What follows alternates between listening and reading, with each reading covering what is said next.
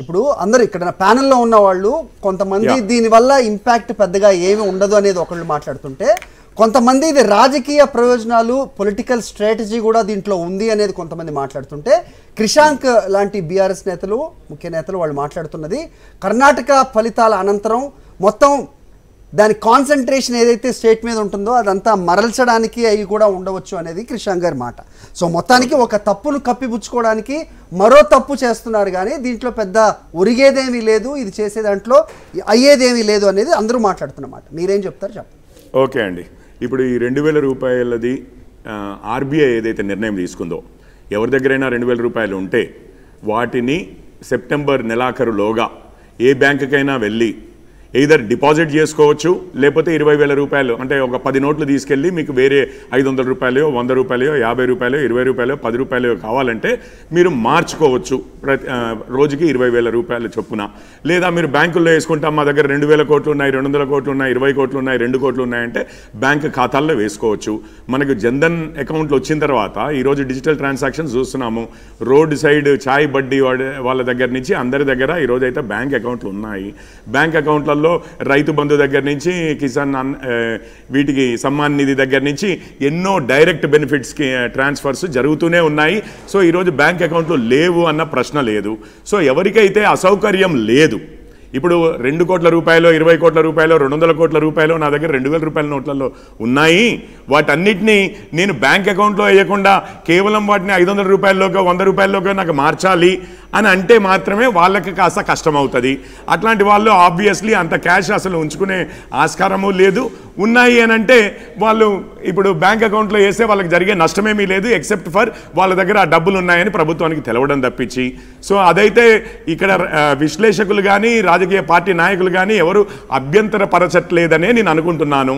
ఒకవేళ ఎక్కడైనా black money ఉంటే అది ప్రభ ప్రభుత్వ ట్రాకింగ్లోకి వస్తే బ్యాంక్ అకౌంట్లలోకి వస్తే ఎవరికీ అభ్యంతరం లేదనే నేను అనుకుంటున్నాను. సో అది స- సమస్య కాదండి. రెండవది ఆర్బీఐ ఏం చెప్పింది? ఇప్పుడు రెండు వేల పద్దెనిమిదిలోనే మేము రెండు వేల నోట్లని ప్రింట్ చేయడం బంద్ చేశాము. ఇప్పటికీ ఏడు లక్షల కోట్లు ఆరు లక్షల కోట్లతో ఉన్నది. ర- క్రమక్రమేణా తగ్గుతూ ఇప్పుడు మూడున్నర లక్షల కోట్లకే మూడు పాయింట్ ఆరు లక్షల కోట్ల విలువైన రెండు వేల రూపాయల నోట్లే ఉన్నాయి. అది టోటల్ సర్క్యులేషన్లో ఉన్న దాంతో చూస్తే ఒక పది శాతమే ఉంది.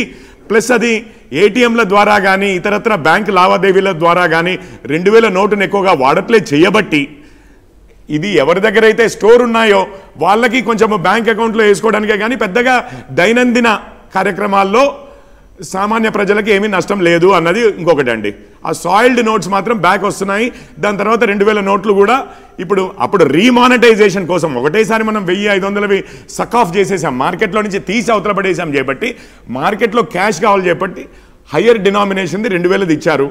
అప్పటి నుంచే చాలామందికి తెలిసిందే అందరూ ఊహిస్తున్నదే రెండు వేలు మాత్రమే ఈరోజు కాకపోతే రేపైనా తీస్తారు అని.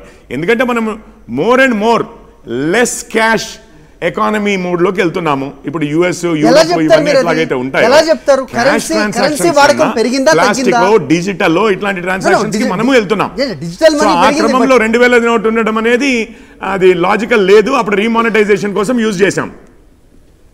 సో ఇంకొకటి అండి. రాజకీయం అంటున్నారు. రాజకీయ ప్రయోజనాలంటే మామూలుగా మన వాళ్ళు అనేది ఏంటంటే ఎన్నికలు రాబోతున్నాయి సార్వత్రిక ఎన్నికలు. లేకపోతే నాలుగు రాష్ట్ర మన మన పక్క పక్కనే రెండు రాష్ట్రాలు మనది అండ్ రాజస్థాన్ ఇవన్నీ ఓ నాలుగైదు రాష్ట్రాలు ఇంకొక నాలుగు ఆరు నెలల్లో ఎన్నికలకు రాబోతున్నాయి.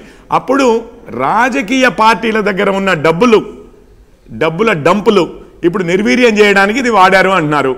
అది కూడా నేను అనుకోవడము తెరాస వారైనా కాంగ్రెస్ వారైనా ఇతరత్ర ఏ పార్టీ వారైనా ఆహ్వానిస్తారని అనుకుంటాను. ప్రజాస్వామ్యంలో రాజకీయ పార్టీలు ఓట్లు కొనడానికి డబ్బులు వాడుతుంటే ఒకవేళ వాళ్ళకి ఇబ్బంది అయితే మాత్రము అందరూ ఆహ్వానించదగ్గ విషయమే ప్రజాస్వామ్యంలో నమ్మేవారు ఎవరైనా.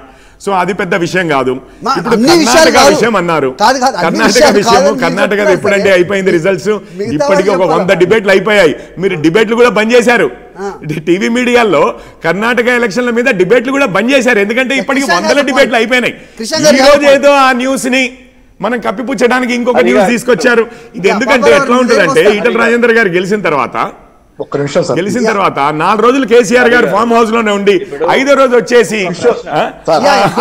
రైస్ విషయం మీద మాట్లాడారు చూసారా ఏది సంతకం. పెట్టిన తర్వాత కూడా. కేంద్రంకి వెళ్ళి మేము పార్బాయిల్డ్ రైస్ ఇయ్యను అన్నోళ్ళు ఇప్పుడు. మళ్ళీ రైస్ అని. చెప్పేసి గొడవ పెడతారు. ఇవి డైవర్షన్ టాక్టిక్స్ అంటే. ఇవి డైవర్షన్ టాక్టిక్స్ అంటే ఇది ఏముందండి కాదు. కర్ణాటకది ఇప్పటికి. పది రోజులు అయిపోయింది. వారం రోజులు అయిపోయింది ఆ డిస్క రిజల్ట్స్ బయటకు. వచ్చి. నేనే ఒక ఇరవై. డిస్కషన్స్లో నేను వినండి.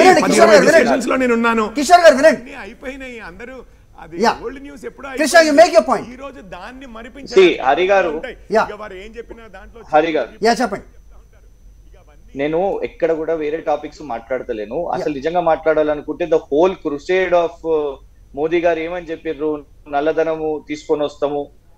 గిఫ్ట్ ఇస్తాను ఒక్కొక్కరికి. దేశంలో ట్యాక్స్ కట్టే వాళ్ళకు గిఫ్ట్ ఇస్తాము. ఇవన్నీ చెప్పారు కదా. I'm not going in to that point నా మేజర్ క్వశ్చన్ ఒకటి ఏంటిదంటే ఇవన్నీ బ్యాంకులోకి వస్తున్నాయి అనేది అన్నారు. చాలా సంతోషం. బ్యాంకులోకి వస్తున్నాయి అని అన్నప్పుడు ద బ్యాంకింగ్ సిస్టమ్ గురించి మీరు మాట్లాడుతున్నారు.